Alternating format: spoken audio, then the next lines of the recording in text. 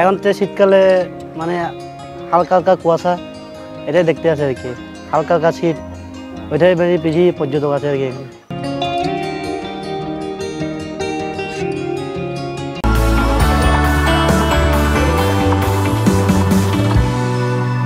পার্বত্য জেলার অন্যতম দর্শনীয় জায়গা নীলাচল।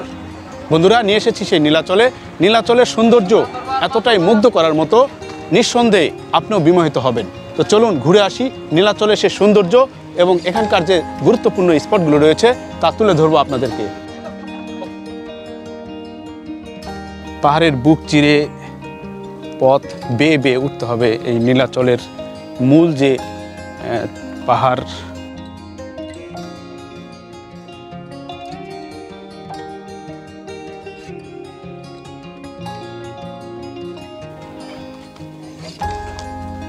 ঢালু পথ কেটে এই রাস্তাটি গড়ে তোলা হয়েছে।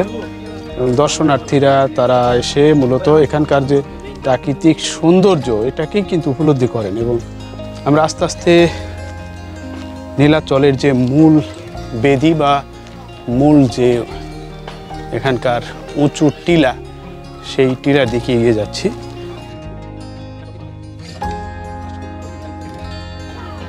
এই সেই নীলাচল, যে নীলাচলে দর্শনার্থীরা এসে এক ঝলক নীলাচলের সাথে নিজের সাক্ষীর যে জায়গাটা তা নিশ্চিত করার জন্য ফটো প্রেমে ধরে রাখেন এবং এই সিঁড়ি বেয়েই আস্তে আস্তে উঠে যেতে হবে আপনাকে এবং নীলাচল পর্যটন কেন্দ্রের যে মূল কাঠামো, মূল যে বেদি, তা কিন্তু এখান থেকে আর আস্তে আস্তে আপনাকে নিয়ে যাবে।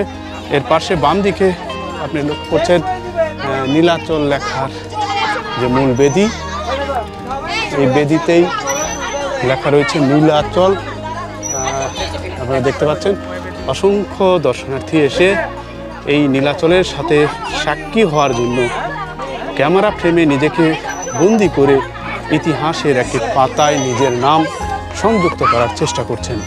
সমুদ্রের পৃষ্ঠ থেকে দুই হাজার ফুট উপরে এই নীলাচল আকাশ, পাহাড় আর মেঘের ভেলায় যে কোনো দর্শনার্থীকেই মুগ্ধ করে। বাংলাদেশের সৌন্দর্য যতগুলি স্পট রয়েছে তার মধ্যে কিন্তু এই নীলাচল অন্যতম একটি জায়গা দখল করে রয়েছে। প্রকৃতি আর প্রকৃতির সাথে মানুষের এই যে মেলবন্ধন, যে কোনো দর্শককে যেমন আকৃষ্ট করবে, প্রকৃতির সাথে এমন একটি পরিবেশ, আকাশের সাথে মেঘের ভেলা, বিশেষ করে শরৎকালে রোদ ঝলমল এই পরিবেশ, যে কোনো বাংলাদেশের প্রান্ত থেকেই এরকম একটি পরিবেশের সাথে আপনাকে এই নীলাচল, বান্দরবন এবং পাহাড়বত্ত উপজেলার সব কিছুই কাছে টানবে।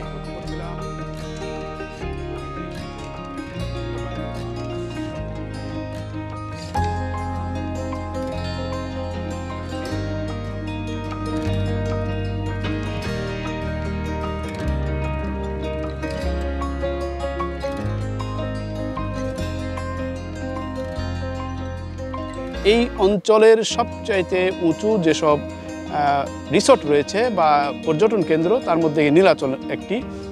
এখান থেকে আপনাদের একটু দেখানোর চেষ্টা করি।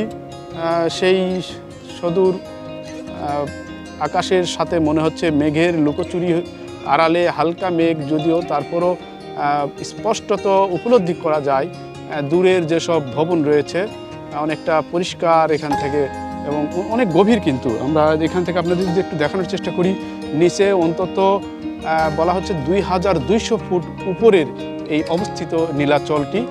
নীলাচল এখানকার সৌন্দর্যের যে রূপ, তা মুগ্ধ করার মতো প্রাকৃতিক, একেবারে দর্শনীয় জায়গা হিসাবে আলাদা তার বৈচিত্র্যতার প্রকাশ ঘটেছে এই নীলাচলে। সবুজ অরণ্যে ঘেরা চারপাশে বিভিন্ন গাছপালা তার মাঝেই এই নীলাচলের এই পর্যটন কেন্দ্রটি।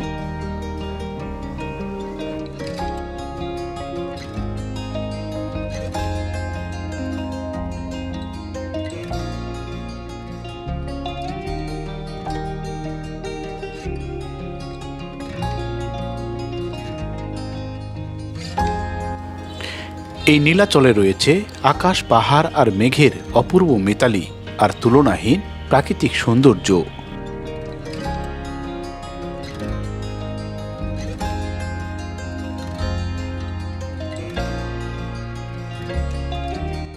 সকালে মেঘের ভেলার খেলা আর বিকেলে সূর্যাস্ত এই দুইটি সময়ই নীলাচল তার পূর্ণ রূপ ধারণ করে।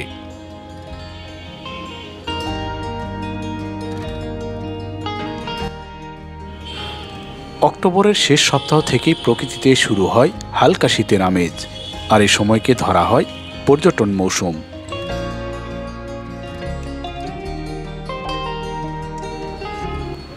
বিগত দুবছর করোনার ধকলে ইচ্ছে থাকলেও বের হওয়ার সুযোগ ছিল না বিনোদন প্রেমীদের। এবার সেই মহামারীর ধকল কিছুটা কমে আসায় প্রাকৃতিক দর্শনীয় স্পটগুলোতে দর্শনার্থীদের পদচারণা বেশ বেড়েছে।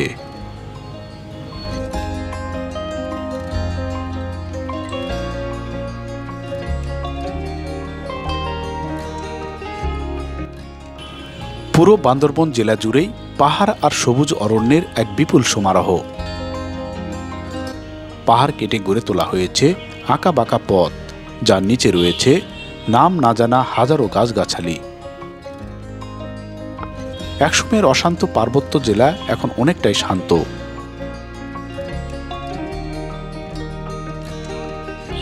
পাহাড়ি আর বাঙালির যৌথ প্রচেষ্টায় নীল সবুজের অন্যতম হাতছানির কেন্দ্র হয়ে উঠেছে এই পার্বত্য জেলা।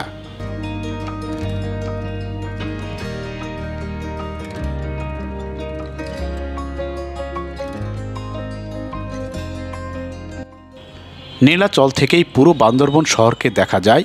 আবার মেঘমুক্ত আকাশ থাকলে দূরের কক্সবাজার সাগর সৈকত হাত হাতছাড়ি দেয় পর্যটকদের।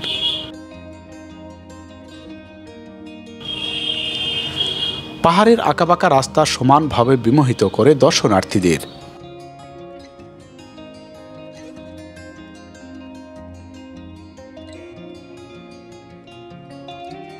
এই নীলাচলে বর্ষা, শরৎ আর হেমন্তকালে হাতের কাছে মেঘ খেলা করে। এক এক স্থান থেকে এক এক রকম প্রাকৃতিক সৌন্দর্য উপভোগ করা যায় এখানে। সেনাবাহিনীর পক্ষ থেকে এখানে একটি রিসোর্ট গড়ে তোলা হয়েছে, তবে তা সাধারণ পর্যটকদের থাকার অনুমতি নেই।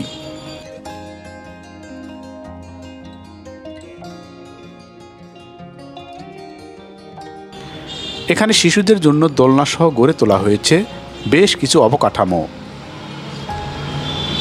চারপাশের সবুজ পাহাড়ের অনুপম সৌন্দর্য দেখার পাশাপাশি এসব রাইড শিশুদের উৎফুল্ল করে তোলে।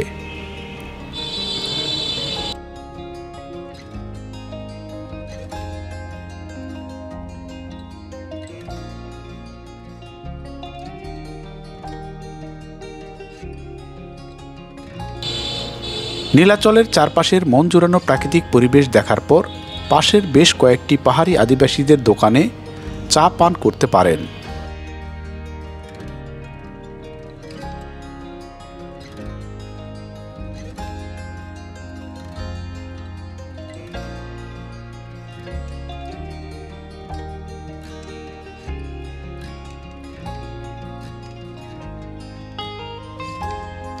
কত হয়?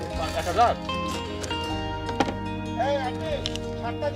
সাবলীল ভাষায় দোকানি আপনাকে জানিয়ে দিবে এসব পণ্যের দর যখন দাম গরমকাল ওই সময় মানুষ কম আছে আর কি গরমের সময়। বা বর্ষাকালে মানুষ আছে। হ্যাঁ। এখন তো শীতকালে মানে হালকা হালকা কুয়াশা এটাই দেখতে আছে আর কি। হালকা হালকা শীত ওইটাই বেশি বেশি পর্যটক আছে আর কি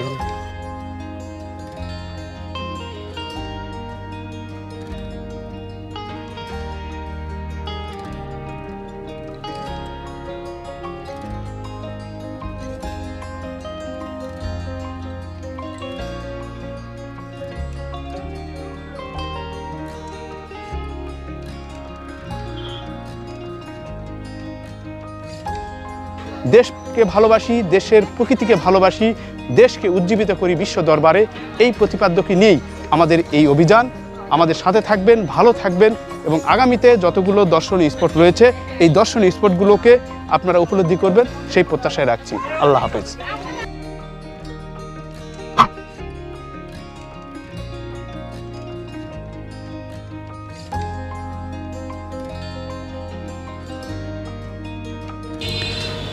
সড়কপথে বান্দরবন থেকে নীলাচলের দূরত্ব পাঁচ কিলোমিটার।